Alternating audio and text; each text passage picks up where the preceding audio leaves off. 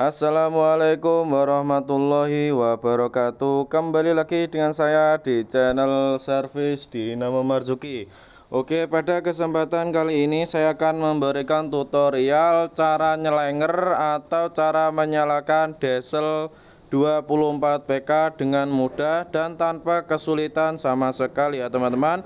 Simak terus videonya sampai habis Oke teman-teman. Jadi ini adalah penampakan dieselnya ya. Sangat kotor sekali ya. Maklum yang namanya diesel itu kotor ya teman-teman. Kalau baru ya diesel baru dibeli itu baru bersih ya teman-teman. Jadi ini sering dipakai untuk tanggapan. Jadi yang pertama-tama kita lihat dulu koplingnya ya teman-teman jadi di sini yang saya pegang ini adalah kopling. Jadi nanti ketika kita selenger itu koplingnya sambil ditekan ya teman-teman. Ya seperti ini. Oke kita langsung saja. E, dan di sini e, alat selengerannya ya teman-teman. Nah di sini alat selengerannya. Nanti kalau waktu kita nyelenger itu harus genggaman kita harus kuat dan sambil ditekan ke dalam ya teman-teman jadi bahaya sekali kalau genggaman kita tidak kuat dan tidak sambil ditekan ke dalam nanti bisa mencelat mengenai kepala atau anggota tubuh yang lainnya ya teman-teman. Jadi harus hati-hati saat menyelengernya atau menyalakannya. Oke, langsung saja kita praktek. Oke teman-teman. Jadi eh, sebelum kita selenger kita tekan terlebih dahulu koplingnya. Seperti yang di awal video tadi sudah saya beritahu. Kemudian kita jangan lupa membaca bismillah terlebih dahulu biar selamat jika terjadi apa-apa. Lalu kita selenger saja dengan sekuat tenaga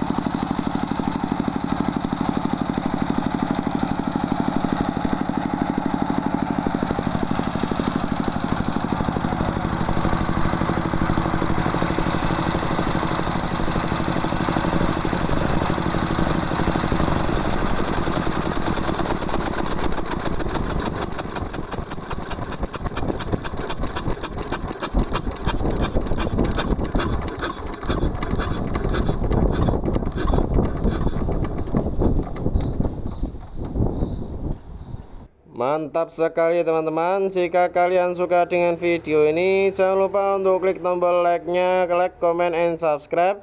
Dan aktifkan loncengnya Agar tidak ketinggalan dengan video dari saya. Selanjutnya yang tentunya bisa bermanfaat Untuk kalian semua. Terima kasih